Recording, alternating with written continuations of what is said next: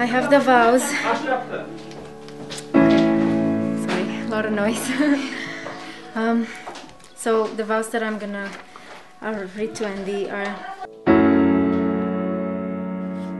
I have something for each one of you for this wedding. So, Becky, this is for you.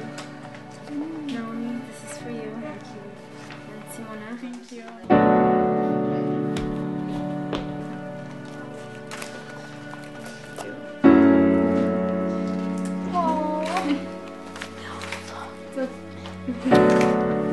I wanted this vows to be perfect, but as you have always taught me, nothing is perfect except with God.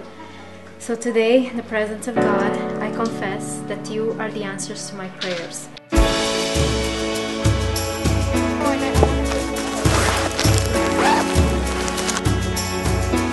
My dear Christianna, I stand here today in the presence of God to take you, my best friend, to be my wedded wife. You are my precious gift, my best friend, my companion, and my true love. From this day forward, I pledge the rest of my life to you. I promise to love you for the good times and bad. Oh my god. so weird.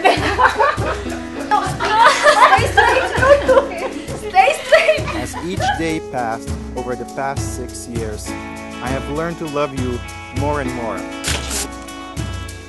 We met back in my house in Romania. As I was, I was walking towards your house, I had to go through the flower shop and I saw you there. I remember you were wearing a pink jacket. I chose to do the arrangements for my daughter because she's special.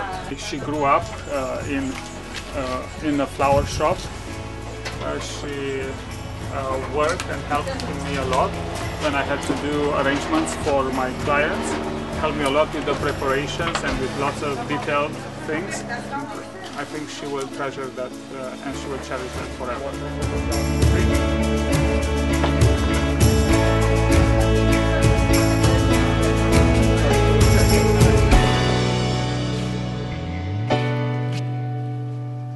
I promise to love you through the good times and bad, through sickness and health, and together to walk in God's way.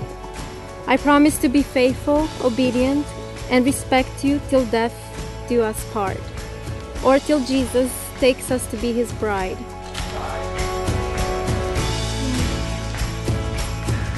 Do you want to wear these? This one. We are finally at the moment we both dreamed and prayed about. And as we stand here before God and each other, I want to promise to love, to guide, and to protect you with all my heart as long as we both shall live.